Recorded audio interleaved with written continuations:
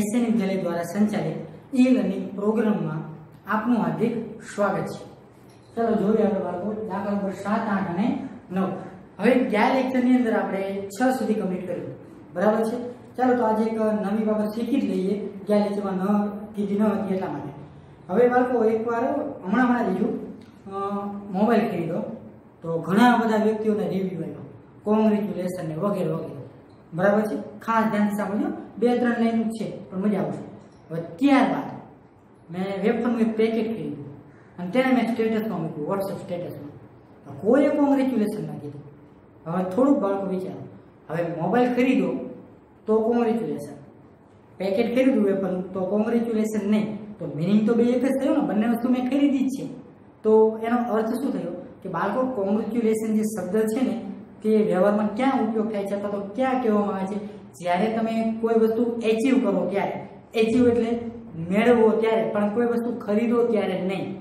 આ બંને વચ્ચે થોડોક તફાવત છે બાળકો જે વસ્તુ આપણે ખરીદીએ છીએ, ત્યાં કોંગ્રેચ્યુલેશન આવો શબ્દ નથી હોતો. બરાબર? પાપડા તો શું? કે એક ટ્રેન્ડ થઈ ગયો છે. એટલા માટે. બરાબર? અને તો તો પછી બાળકો આપણે બે રૂપિયાની પેન ખરીદી હોય, સરસ જાય તો કોંગ્રેચ્યુલેશન તો કેવું જોઈએ ને. સમજાણું ને બધી વસ્તુ? તો એના જેવું છે આ. બરાબર છે? એટલે કે તમે કોઈ પરિણામમાં સારા માર્ક્સ મેળવવા હોય, સારું રિઝલ્ટ આવ્યું હોય તમારું, તો સાચી વાત છે કે કોંગ્રેચ્યુલેશન છે. અથવા તો કંઈ તમે વસ્તુ મેળવી હોય, પોતાના મહેનતથી કંઈક બન્યા હોય પોતાના લાઈફમાં બરાબર? અથવા લાઈફનો નવો કોઈ પાઠ શરૂઆત થતી હોય, તો બાબત સાચી છે કોંગ્રેચ્યુલેશન વાળી. આ તો કંઈ ને કંઈ મોબાઈલ તો કે કોંગ્રેચ્યુલેશન હવે કંઈક વસ્તુ તો પછી બે રૂપિયાની પેન ખરીદી એમાં કોંગ્રેચ્યુલેશન તો હોવું જોઈએ ને. એટલે આ બધી વસ્તુ જે બેઝિક બેઝિક છે ને, થોડુંક વિચારવાનું તો ઘણી વાર તેમાંથી આપણને ઘણું બધું શીખવા મળે. સમજાણ બાળકો ચાલો તો આપણે શરૂઆત કરીએ આગળના દાખલામાં બે સંખ્યાઓનો સરવાળો કેટલો થાય છે? પંચાણું. એક સંખ્યા બીજી સંખ્યા કરતાં કેટલી વધારે છે? પંદર. તો તે સંખ્યાઓ શોધો. સૌથી પહેલું કરે સૌથી ઈઝી એક્ઝામ્પલ છે આ સાતનું. પહેલી સંખ્યા બરાબર આપણે શું ધારીશું? એક્સ હવે જે સંખ્યા છે તેના કરતાં બીજી સંખ્યા કેટલી વધારે છે? પંદર. તો વધારે એટલે કે બાળકો, ઉમેરવા પડશે આપણે. બરાબર છે? તો બીજી સંખ્યા કઈ મળી? એક્સ પ્લસ પંદર. અને આ બંને સંખ્યાનો સરવાળો કેટલો થાય છે? પંચાણું. મળી ગયું બાળકો સમીકરણ. હવે તેમાંથી આપણને x ની કિંમત મળશે. એ તમે બંને સંખ્યામાં મૂકી દો. એટલે આપણને સંખ્યાઓ મળી જશે. આ થઈ ગયું આખા એક્ઝામ્પલનું સ્વરૂપ. આવી રીતે જો તમે બ્રેઇનમાં તમે તમારી રીતે પોતે બેસાડી શકતા હોય, તો તો સમજવાનું કે આપણને આ જે એક્ઝામ્પલો છે એ સમજી ગયા. ફક્ત આપણે શીખતા નથી કે જોતા નથી. એટલા માટે. ચાલો જોઈએ. એક્ઝામ્પલ નંબર સાત. ધારો કે, હવે આપણને ખબર છે, એક સંખ્યા નાની હશે બીજી સંખ્યા કેવી હશે? મોટી. તો આપણે એવું પણ લઈ શકીએ કે ધારો કે નાની સંખ્યા બરાબર x અને મોટી સંખ્યા બરાબર શું થશે? x 15 કારણ કે બીજી સંખ્યા 15 વધારે, એટલે કે ઉમેરવા પડશે ને, મોટી છે. એટલા માટે. અને આવું જો શબ્દ ન વાપરવું હોય તો પણ ચાલે. એટલે કે પ્રથમ સંખ્યા બરાબર x અને બીજી સંખ્યા બરાબર x 15 આવી રીતે ચાલશો તો પણ ચાલશે. બંનેમાંથી તમારે જે રીતે ચાલવું હોય તે સાચું છે, બંને. તો ધારો કે આપણે લઈ લઈએ નાની સંખ્યા. નાની સંખ્યા એક નવું શીખીએ, એટલા માટે. બાકી પ્રથમ ને દ્વિતીય રાખો તો પણ ચાલે. પ્રથમ સંખ્યા બરાબર એક્સ અને ત્યારબાદ મોટી સંખ્યા બરાબર શું આવશે બાળકો? એક્સ પ્લસ પંદર. કારણ તો તમને સમજી ગયું હશે કે પંદર જેટલી વધારે છે, પણ કઈ સંખ્યા? બીજી અથવા પ્રથમ અને બીજી રહી કોઈ તોય વાંધો નથી. આ તો શું આપણે ક્યારેક અમુક એક્ઝામ્પલમાં આ બધી નાની નાની જે બાબતો છે તે સમજવા મળે. કે આપણે એક્ઝામ્પલ જોઈન પણ કહી શકીએ, રકમ જોઈન પણ. કે એક સંખ્યા નાની હશે તો બીજી મોટી થશે, કારણ કે પંદર ઉમેરવાના કીધા હતા એટલા માટે. હવે જે આપણને આ બે સંખ્યા મળી બંનેનો સરવાળો કેટલો દીધો છે? પંચાણું નાઇન્ટી ફાઈવ ચાલો આપણે લખીએ તો પ્રથમ સંખ્યા એટલે કે નાની સંખ્યા એક્સ હતી અને બીજી સંખ્યા એટલે કે મોટી સંખ્યા આપણને શું આપ્યું છે? X 15 હવે આ બંને સંખ્યાનો સરવાળો કેટલો દીધો છે આપણને? 95 તો આપણે લઈ લીધો ત્યાં સુધી કમ્પ્લીટ હવે આગળ. આ x અને આ x કેટલા x થશે? 2x વેરી ગુડ તો આ 2x એમ પ્લસ 15 જ્યારે સાથે સાથે કામ કરવું હોય તોય વાંધો નહીં. બાકી x સ્ટેપ વધારવાનું પ્લસ 15 બરાબર 95 હવે આ જે 95 છે બરાબરની બીજી બાજુ જશે. તો પ્લસ હોય તો માઇનસ થઈ જશે. તો 2x બરાબર પંચાણું માઇનસ પંદર. હવે પંચાણું તમે પંદર બાદ કરશો તો કેટલા વધશે? એસી તો માટે બે એક્સ બરાબર એસી બે અને એક વચ્ચે ગુણાકારનો સંબંધ છે. બરાબરની બીજી બાજુ જશે તો ભાગાકારમાં. તો માટે એક્સ બરાબર એસી ના છેદમાં બે. તો માટે એક્સની કિંમત કેટલી મળશે? 40 હવે અહીંયા જે એક્સની કિંમત મળી તેને હું નાની સંખ્યા અને મોટી સંખ્યા અથવા તો આપણે બોલતો હોય પ્રથમ સંખ્યા અને બીજી સંખ્યા. તેમાં હું મૂકી દઉં તો મને બંને સંખ્યા મળી જશે અને જે બે સંખ્યા મને મળશે એ બંને સંખ્યાનો સરવાળો ભાગો કેટલો થતો હશે? ફરજિયાત પંચાણું. એટલે આપણું એક્ઝામ્પલ કેવું હશે? સાચું. એટલે આપણે તાવ મેળવો ને, રકમ સાથે. એટલા માટે. તો ચાલો જોઈએ આગળ. નાની સંખ્યા બરાબર. શું આપેલું છે? આપણે ધાર્યું છે એક્સ તો એક્સની જગ્યાએ કેટલા મૂકશું? 40 તો 40 જ રહેશે. હવે ત્યારબાદ મોટી સંખ્યા. તો મોટી સંખ્યા બરાબર શું આપ્યું છે આપણને? x 15 તો x ની જગ્યાએ કેટલા મૂકવાના થશે? 40 તો x ની જગ્યાએ 40 અને પ્લસ 15 ના પ્લસ 15 એમ 40 માં તમે 15 ઉમેરશો. એટલે કેટલા આવશે? 55 હવે જે આપણને આ બે સંખ્યા મળી એક તો 40 અને બીજી સંખ્યા 55 હવે આ બંને સંખ્યાનો જો તમે સરવાળો કરશો, તો કેટલો થવો જોઈએ? 55 થાય છે જોઈ લો. તો પહેલા 50 માં 40 નાખો તો 90 અને વધારામાં 5 દીધા તો તે થઈ ગયા 55 બાળકો ક્લિયર પાકું? તો પહેલા તો આ એક એક્ઝામ્પલ ધ્યાનથી એકવાર જોઈ લો. કેમ? કારણ કે સાવ સિમ્પલ હતું. પણ આના જે અમુક વર્ડ હતા, નાની અને મોટી સંખ્યા. ત્યાં થોડું એક ધ્યાનમાં રાખવા જેવી બાબત હતી. એટલા માટે. બરાબર છે? તો એકવાર જોઈ લો. ત્યારબાદ આપણે શરૂઆત કરીએ આ એક્ઝામ્પલ નંબર આઠ. એટલે કે દાખલો આઠ સમજાય છે ને બાળકો કારણ કે આ બધી વસ્તુ સાવ ઈઝી છે. બરાબર? કેમ? કારણ કે જેમ જેમ તમે આગળ સમીકરણો સોલ્વ કરતા જશો, તેમ સાવ ઈઝી જ લાગશે. અને આપણે મેં પહેલા લેક્ચરમાં કીધું કે આપણે દરેક દાખલો એવી રીતે પગથિયા વાઇઝ ગોઠવી દીધેલ છે કે તમને કોઈ વસ્તુ નવી લાગશે નહીં કેમ? કારણ કે જો સ્વાધ્યાય વાઇઝ આપણે ચાલીએ, તો તેમાં શું થાય ઘણીવાર? કે ઘણીવાર ભૂમિતિને લગતું એકાદું સમીકરણ આવી જાય. પછી પાછું સાદું સમીકરણ, બહુ ઈઝી પછી પાછું સીધું હાઈ લેવલનું એક્ઝામ્પલ આવી જાય. જેથી કરી શું તકલીફ પડે? કે હમણાં આપણે આ દાખલો આ રીતે કર્યો હતો, હવે પાછી પાછી આ રીતે અને પછી આ રીતે. તો આમાં પછી શું થાય? બહુ કન્ફ્યુઝન ઊભી થાય. એટલા માટે જ આપણે ગણિત અઘરું પડે છે. બાકી એને જો એક સ્ટેપ વાઇઝ ગોઠવી દેવામાં આવે, તો આને જેટલી સરળ બાબત બીજી કઈ નથી.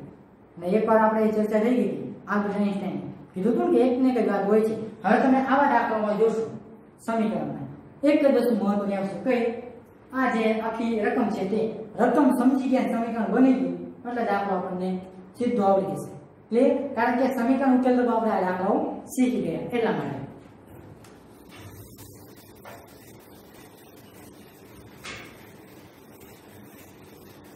ચાલો જો દાખલા નંબર આઠ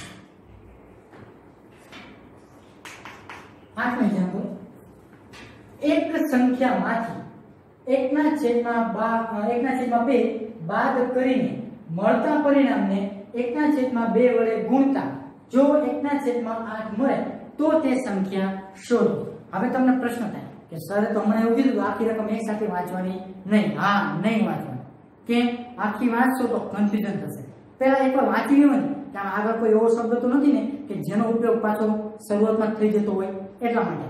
તો જો એક સંખ્યામાંથી કેટલા બાદ કરવાના છે? એકના છેદમાં બે. હવે તે સંખ્યા કઈ છે? આપણે જાણીએ છીએ, નથી જાણતા. તો શું ધારીએ છીએ આપણે? કે ધારો કે તે સંખ્યા x છે, તેમાંથી કેટલા બાદ કરીશું આપણે? એકના છેદમાં બે. અને જે પરિણામ મળે, બરાબર, તેને કેટલા વડે આપણે ગુણીશું? એકના છેદમાં બે વડે ગુણતા. અને એ તે એટલું કામ આપણે પૂરું થઈ જાય, ત્યારબાદ શું મળે છે એકના છેદમાં આઠ? તો બરાબરની બીજી સાઈડ લખવું પડશે ને એકના છેદમાં આઠ. યાદ રાખજો, બરાબર તો આવવા જોઈએ, તો જ સમીકરણ થાય, જેને આપણે ક્ષમતા કહેતા હતા શરૂઆતમાં ભણ્યા હતા. ચાલો જોઈએ. ધારો કે એ સંખ્યા બરાબર કઈ છે? x. આપણે જાણતા નથી. હવે આ જે સંખ્યા છે, x તેમાં આપણે કેટલા બાદ કરવાના છે? 1 ના છેદમાં બે. તો લખીશું આપણે. આપેલ સંખ્યામાં, સંખ્યામાંથી 1 ના છેદમાં બે બાદ કરતા. તો પહેલી સંખ્યા બે હતી, આપેલ સંખ્યા એક્સ હતી. તેમાંથી કેટલા બાદ કરવાના થશે? 1 ના છેદમાં બે. તો બાળકો કેવી ખબર પડી ને? આપણને ધારો કે તે સંખ્યા એક્સ આપેલી હતી. તેમાંથી કેટલા બાદ કરવાના કીધા છે? 1 ના છેદમાં 2 રકમ આપ્યું છે.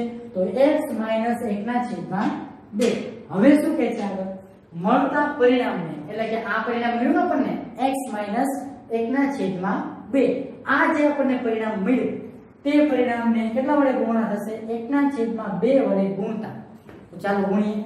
તો આપેલ અથવા તો મળતા પરિણામને મળેલ પરિણામ ને એકના છેદમાં બે વડે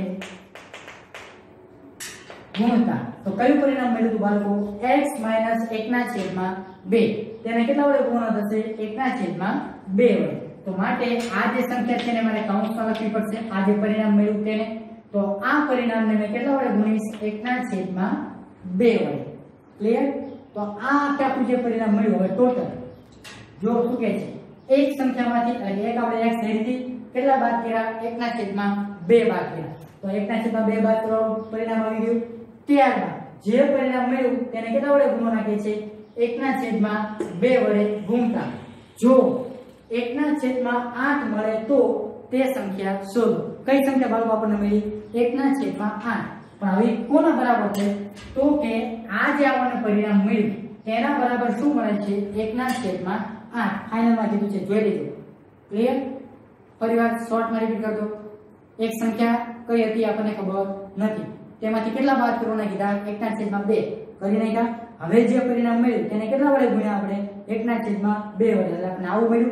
હવે આ કોના બરાબર થાય છે? તો કે એકના છેદમાં આઠ બરાબર થાય છે. એટલે કે આ જે પરિણામ મળ્યું, એનો જવાબ શું થશે? એકના છેદમાં આઠ. કેમ? કારણ કે સમીકરણમાં ડાબી બાજુ જમણી બાજુ. બે તો સરખું જ ને? એટલા માટે જમણી બાજુનું આપણે પરિણામ આપી દીધું એકના છેદમાં આઠ, જે મળશે, બરાબર? તો ડાબી બાજુનું પરિણામ પણ એટલું થશે, એટલે કે બેને સરખાઈ શકાશે. ક્લિયર થોડુંક કદાચ નવું લઈ હોય તો એટલું બધું નવું નથી. નવું એટલું નથી, કારણ કે અહીંયા તમને શું કહે છે? એવું કીધું નથી કે પરિણામ શું મળે છે લાસ્ટ ફાઇનલ પરિણામ. બરાબર? એટલા માટે થોડુંક નવું લાગે. બાકી કંઈ આમાં છે નહીં. ક્લિયર બાળકો? ચાલો આગળ તો એકના છેદમાં બે કૌંસમાં x માઇનસ એકના છેદમાં બે અને છેલ્લે શું મળે છે? એકના છેદમાં આઠ મળે તો તે સંખ્યા શોધો હંમેશા તે છેલ્લો આંકડો હશે ને બરાબર બીજી બાજુ હશે. મોસ્ટ પણ એવું ધારી નથી ચાલે આ તો સમજવા માટે ક્યારેક કન્ફ્યુઝ થયો હોય તો. હવે અહીંયાથી આપણે સમીકરણ સોલ્વ કરતા તો આવડે જ છે. ચાલો કરીએ. હવે જો બાળકો અહીંયાથી આપણે સમીકરણ બે રીતે સોલ્યુશન થાય? આ પહેલું પદ. એટલે કે આ બધું એક જ પદ થશે. આ કારણ કે આ પદ અને આ પદ વચ્ચે ગુણાકારનો સંબંધ છે. આ બાજુ એક જ પદ ને આ બાજુ એક જ પદ એટલા માટે ભાગાકારના બે આમ લઈએ તો ગુણાકારમાં જશે. કે નહીં જાય. તો ચાલો લઈ લઈએ તો x એકના છેદમાં બે બરાબર એકના છેદમાં આઠ. ગુણ્યા કેટલા થઈ ગયા? બે. ભાગાકારમાં બે હતા, બરાબર ને આ બાજુ લઈ ગયો તો ગુણાકારમાં. હવે હું કઈ રીતે થયું? તમને શોર્ટમાં સમજાવી દઉં સમીકરણ? આ જે સમીકરણ છે બાળકો આ ખાતાનું y થાય. અને તેની સાથે કોણ ગુણાયેલું એકના છેદમાં બે. હવે આને આમે લખાય. Y ના છેદમાં બે. કેમ આગળ કઈ હોય તો એક તો હોય જ છે ને. તો આ શું બની ગયું y ના છેદમાં અને બરાબર શું હતું? એકના છેદમાં આઠ. તો ભાગાકારના બે આમ લઈ ગયું. તો y બરાબર શું થયું? એકના છેદમાં આઠ ગુણ્યા બે. હવે y ની જગ્યાએ શું ધર્યું આપણે? આ આપણું પરિણામ ધર્યું હતું ને x માઇનસ એકના છેદમાં બે. તો ફરી પાછું મૂકી દો. તો આના જેવું પરિણામ થઈ ગયું. y ની જગ્યાએ x માઇનસ એકના છેદમાં બે. જમણી બાજુ આ. અહીંયા જમણી બાજુ આ. ક્લિયર એટલે આ રીતે પણ ઘણીવાર વિચારી શકો. આવું કેમ થયું? કારણ કે આ બંને વચ્ચે ગુણાકાર ભાગાકારનો સંબંધ હતો ને બાળકો? એટલા માટે આપણે કૌંસ સુધો પાડતા નથી. હવે પ્રશ્ન થાય સાહેબ અહીંયા કૌંસ હતો ને હવે લખો કે ન લખો? ચાલે. કેમ? આખું જે પદ હતું તેની સાથે જે ગુણાયેલું હતું, એ તો વયું ગયું. અને એક તો હંમેશા ગુણાયેલો હોય જ તે. જે તમે લખો તો પણ ચાલે અને ન લખો તો પણ ચાલે.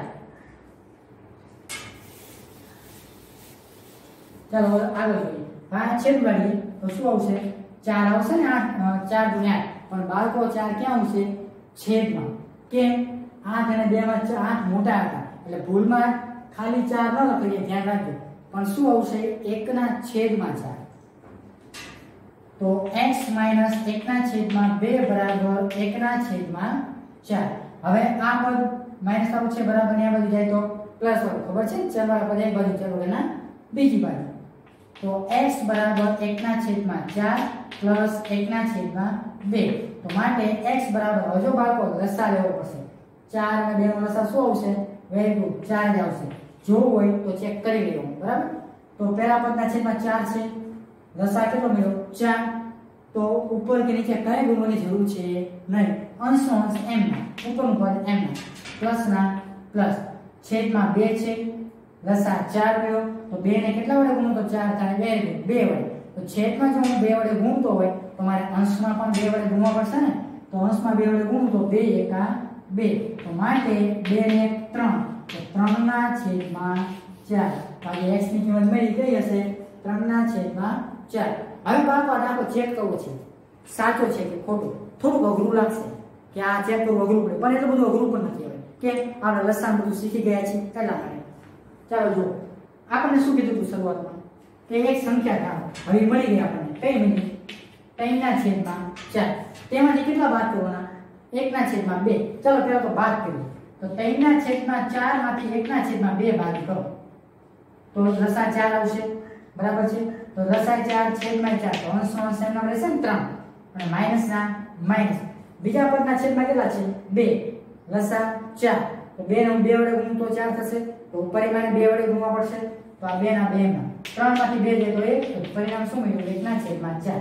હવે આ જે પરિણામ મળ્યું તેને કેટલા વડે ગુણવાના કીધા છે બાળકો? જો તો, એકના છેદમાં બે વડે ગુણો. તો આના ગુણ્યા પાછા એકના છેદમાં બે વડે કરવા પડશે. તો શું આવશે? એકના છેદમાં આઠ. છેદ છેદ નો ગુણાકાર સંસ્નો એક એકા એક ને ચાર ને આઠ. તો આ પરિણામ કયું મળ્યું? ડાબી બાજુ. આ બાજુનું પરિણામ મળ્યું? એકના છેદમાં આઠ. જમણી બાજુ કેટલું હતું?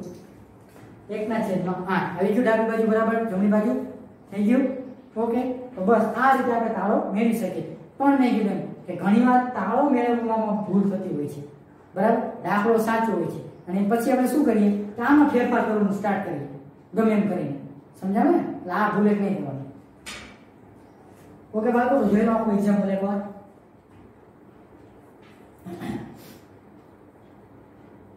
ચાલો, આવું નવું એક્ઝામ્પલ છે.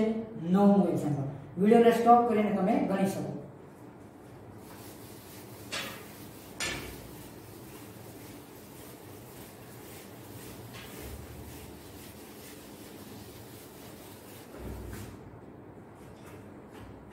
દાખલા નંબર નવ.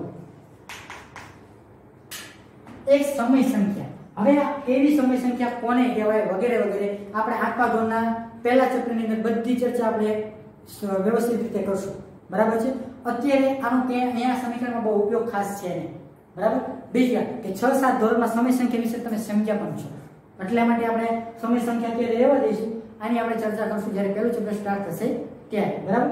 અત્યારે આનો કોઈ બહુ ઉપયોગ છે નહીં ખાસ એવો. તો આપણે એક સમય સંખ્યાને કેટલા વડે ગુણવાનું કે છે પાંચના છેદમાં બે વડે ગુણી હવે કઈ સંખ્યા છે આપણે જાણતા નથી. તો તે સંખ્યાને આપણે શું ધારી લઈશું? એક્સ તેને આપણે કેટલા વડે ગુણશું? પાંચના છેદમાં બે. એટલે કે પાંચ એક્સના છેદમાં બે થશે ને? અને ત્યારબાદ જે પરિણામ મળે છે એમાં કેટલા ઉમેરશું? બે ના છેદમાં ત્રણ. અને શું પરિણામ મળે છે? માઇનસ સાતના છેદમાં બાર મળે છે. જેને આપણે બરાબરની બીજી બાજુ લખીશું. અને સમીકરણ ઉકેલો એટલે આપણને એક્સની કિંમત મળી જશે. અને જે એક્સની કિંમત મળે છે તે આ સંખ્યા થઈ જશે ને જે આપણે માગેલ સંખ્યા છે તે. બરાબર? અને બીજી વાત બાળકો, આગળનું જે એક્ઝામ્પલ હતું નીચે એક લાઈન લખ્યું તો લખી નાખજો. કઈ? કે આપણે જે સંખ્યા ધારી લીધી આથી અથવા તો આપણે લખ્યું હતું શરૂઆતમાં, પહેલું વાક્ય. કે ધારો કે તે સંખ્યા બરાબર x. માટે નીચે લખી શકાય કે સંખ્યા બરાબર કઈ હોય? એટલે આનો જવાબ ત્રણના છેદમાં ચાર. માટે માગેલ સંખ્યા ત્રણના છેદમાં ચાર છે. આવું એક વાક્ય લખવું હોય તો વ્યવસ્થિત રીતે લખી લેજો. બરાબર છે? જે રહી ગયું બાકી. એટલા માટે. ચાલો જોઈએ નવમું એક્ઝામ્પલ ધારો કે સમય સંખ્યા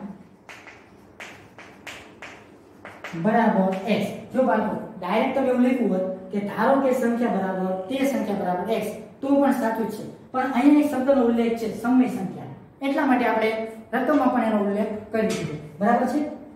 ધારો કે સમય સંખ્યા બરાબર x છે. હવે ત્યારબાદ કેટલા આપણે ગુણો નાખીએ છીએ? પાંચના છેદમાં બે. તો આપેલ સમય સંખ્યાને, આપેલ સંખ્યાને અથવા તો સમય સંખ્યાને પાંચના છેદમાં બે વડે ગુણતા. તો માટે શું મળશે બાળકો? પાંચના છેદમાં બે એક્સ. આવી રીતે લખાશે. અને આની ચર્ચા આપણે સમીકરણ ઉકેલતા ત્યારે પર થઈ હતી કે આ જ્યારે એક્સ વચ્ચે રહેશે, ભાગાકારની દિશાની સાથે. ત્યારે યાદ રાખો, આ એક્સ ક્યાં છે?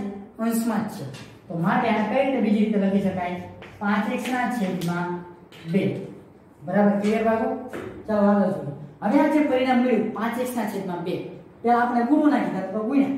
કેટલા ઉમેરવાના છે? બેના છેદમાં ત્રણ. તો મળેલ પરિણામને, પરિણામમાં બે ના છેદમાં ત્રણ ઉમેરતા. તો કયું ભાગનું પરિણામ મળ્યું પાંચ એક્સ ના છેદમાં બે અને તેમાં શું ઉમેરવું થશે? બે ના છેદમાં ત્રણ. Okay, clear? અને શું મળે છે આપણને? માઇનસ સાત ના છેદમાં બાર.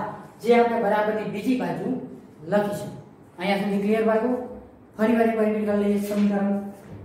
ધારો કે સમય સંખ્યા કઈ હતી? એક્સ. તેને કેટલા વડે ગુણવાના કીધા હતા આપણને? 5 ના છેદમાં બે વડે. તો 5 ના છેદમાં 2 વડે ગુણી લીધા, તો શું મળ્યું આપણને? 5x ના છેદમાં 2 હવે જે આપણને પરિણામ મળ્યું, તેમાં કેટલા ઉમેરવાના હતા? 2 ના છેદમાં 3 તો 5x ના છેદમાં 2 2 ના છેદમાં 3 અને આ જે આપણું સમીકરણ છે ડાબી બાજુનું છે, તો જમણી બાજુ બરાબર શું મળે છે લાસ્ટમાં? -7 ના છેદમાં 12 ચાલો આપણે સમીકરણ દઈએ. તો 5x ના છેદમાં 2 પ્લસ 2 ના છેદમાં 3 બરાબર માઇનસ 7 ના છેદમાં બાર. હવે આપણે પહેલું કાર્ય શું કરીએ છીએ બાળકો? જેટલા પણ ચરવાળા પદ છે, એને બરાબરની એક બાજુ રાખીએ છીએ. ચર વગરના પદ બરાબરની બીજી બાજુ. તો 5x ના છેદમાં જે બે છે એમના રહેશે બરાબર. માઇનસ 7 ના છેદમાં 12 એમના માટે ધ્યાન રાખો ખાસ. અને બે ના છેદમાં ત્રણ જે પ્લસ છે, બરાબરની આ બાજુ જશે, તો માઇનસ બે ના છેદમાં ત્રણ. હવે 5x ના છેદમાં બે એમ. 12 અને 3 નો બાળકો લસા લેવાનો છે. ચાલો લઈ લઈએ. આવડતો હોય તો વેરી ગુડ છે 12 જ આવશે મોઢે ખબર હોય તો, પણ આપણે લઈ લઈએ. પહેલા તો આપણે 3 ની જગ્યાએ યુઝ કરી લઈશું. ડાબી બાજુ જે આંકડા છે, કેવા લેવાના? કે અવિભાજ્ય. પરંતુ, નાનો હોય કે મોટો, એની સાથે કોઈ મતલબ છે નહીં. બરાબર? અવિભાજ્ય અંકો લેવાના. અને તેના દ્વારા ભાગ ચલાવવાનો. તો ત્રણ લો ચાર ને બાર ને ત્રણ વડે ભાગો તો ચાર આવશે. ત્રણ ને ત્રણ વડે ભાગો તો એક. હવે ત્યારબાદ બે લો ચાર ને બે વડે ભાગો બે, આ તો એક જ આવશે. ત્યારબાદ 2 ને બે વડે ભાગો એક અને એક. હવે આ ડાબી બાજુ જે આંકડા મળ્યા તે શું થઈ ગયો આપણો? લસા. બે, દુ, ચાર અને 4 તેરીને 12 ત્રણેય આંકડાનો ગુણાકાર. તો આપણે લસા કેટલો મળ્યો? બાર. પ્રથમ પદના નીચે ઓલરેડી 12 છે. લસા પણ 12 છે. તો કોઈ વસ્તુ ગુમવાની કે ભાગવાની જરૂરિયાત છે નહીં. ઉપરનો અંશનો અંશ એમના માઇનસ સાતના માઇનસ સાત એમના માઇનસ ના માઇનસ બે છે. અંશમાં છેદમાં છે ત્રણ. લસા કેટલો મળ્યો? બાળકો, બાર. વેરી તો ત્રણ ને કેટલા વડે ગુણું તો બાર આવશે? ચાર વડે? તો જો હું છેદને ચાર વડે ગુણતો હોય, તો અંશને પણ મારે ચાર વડે ગુણવો પડશે. તો ચાર ગુણે આઠ. તો પાંચ એક્સ ના છેદમાં બે હતા એમના? માઇનસ આઠ માઇનસ સાત. નિશાની સરખી. તો અંકોનો સરવાળો નિશાની પોતે. તો માઇનસ પંદર અને છેદમાં કેટલા હતા? બાર. હવે ભાગ બે બાજુ એક આવી ગયા. તો ભાગાકારના બે બરાબરની આ બાજુ જશે તો ગુણાકારમાં વેરી ગુડ તો 5x બરાબર માઇનસ પંદર ના છેદમાં બાર ગુણ્યા બે. બધું એક સાથે નહીં કરો. એક એક પદ લેતા જાઓ ઓટોમેટિક ઈઝી પડે. એટલા માટે. તો છ ગુણ્યા બાર, તો છેદમાં કેટલા બેઠા છ. તો માટે 5x બરાબર શું મળ્યું? માઇનસ પંદર ના છેદમાં છ. હવે પાંચ ગુણાકારના સંબંધમાં છે. બરાબર ને બીજી બાજુ જાય તો? ભાગાકારના સંબંધમાં તો માટે x બરાબર માઇનસ પંદર ના છેદમાં છ તો હતા જ બીજું પણ ભાગાકારમાં ગયું? પાંચ. તો ગુણ્યા પાંચ. પાંચ તેરી કેટલા થશે પંદર. હવે છેદ ઉડાડો ભેગા તો ચાર. પાંચ તેરી પંદર, તો ત્રણ ક્યાં લખ્યા? અંશમાં. કેમ? પંદર મોટા હતા બાળકો હવે ત્રણ દુને છ બે ક્યાં લખવા પડશે? છેદમાં. કેમ? કારણ કે ત્રણ અને છ ના છેદ ઉડાડો, તો મોટું કોણ હતું? છ. તો બે ક્યાં આવશે? છેદમાં. હવે ઉપર કઈ નથી. તો આપણે જાણીએ છીએ એક તો હશે અને છેદમાં કેટલા બધા? બે. હવે છેદ ઉડતા નથી. હવે એક નિશાની ખાસ ધ્યાન રાખવાનું. નિશાની કઈ હતી? માઇનસ એટલે કે પ્લસ ભાગ્યા માઇનસ કરો કે માઇનસ ભાગ્યા પ્લસ આન્સર શેમાં આવે માઇનસમાં ઓકે બાળકો? તો જે આપણને સમય સંખ્યા આપેલ હતી તે કઈ છે? માઇનસ એકના છેદમાં બે. એટલે કે તમારે નીચે લખો તો લખી શકાય કે માટે માગેલ સમય સંખ્યા બરાબર માઇનસ એકના છેદમાં બે છે. હવે આ એક્ઝામ્પલ સાચું કે ખોટું? તમારે બાળકો જો ચેક કરવું હોય, તો માઇનસ એકના છેદમાં જે બે મળ્યા, તેની સાથે પહેલા કેટલા ગુણવાના? પાંચના છેદમાં બે. પછી એમાં કેટલા ઉમેરવાના? બે ના છેદમાં ત્રણ. કેટલા મળશે? માઇનસ સાતના છેદમાં બાર. સમજી ગયું? ચાલો જોઈ લઈએ. આ બાળકો ફક્ત સમજવા માટે છો આ ધ્યાન રાખજો. અને જે આ લસા છે, તમે બાજુમાં એક્ઝામ્પલમાં પાકેનોમાં ફરજિયાત લખવાનું પરંતુ એક્ઝામમાં ક્યાંય ન લખો તો ચાલે. ઓકે બાળકો, તો અહીંયા સુધી આપણે એક્ઝામ્પલ અહીંયા પૂરું. હવે આપણે ચેક કરીશું ઓલું કઈ રીતે આવે છે. જે તમારે ક્યારેક સમજવામાં કામમાં લાગે. ચાલો તો જુઓ. કઈ સંખ્યા મળી? માઇનસ એકના છેદમાં બે. કેટલા વડે ગુણવાના કીધા હતા આપણને? જો તો ધ્યાનથી પાંચના છેદમાં બે વડે. તો ગુણ્યા પાંચના છેદમાં બે. અંશનો ગુણાકાર છેદ છેદમાં પાંચ એકા પાંચ. બે ટુ ચાર. પ્લસ ગુણ્યા માઇનસ માઇનસ. હવે આમાં કેટલા ઉમેરવાના? તો કે બે ના છેદમાં ત્રણ. તો બે ના છેદમાં ત્રણ. ક્લિયર? હવે બાળકો શું લેવું પડશે? ચાર અને ત્રણ શું લેવો પડશે? લસા તો લસા કેટલો આવશે? ચાર અને ત્રણનું બાર. ચેક કરો તો કરી લો છેદમાં ચાર છે લસા બાર છે, તો ચાર નો કેટલા વડે ગુણતો? બાર આવે. ત્રણ વડે. તો છેદમાં જો હું બાળકો ત્રણ વડે ગુણતો. તો અંશમાં પણ મારે ત્રણ વડે ગુણવા પડશે ને? તો ત્રણ પંચાને પંદર. તો માઇનસ પંદર આવશે ને? માઇનસ એટલે માઇનસ એમ ના. પ્લસ ના, પ્લસ. તો હવે આગળ.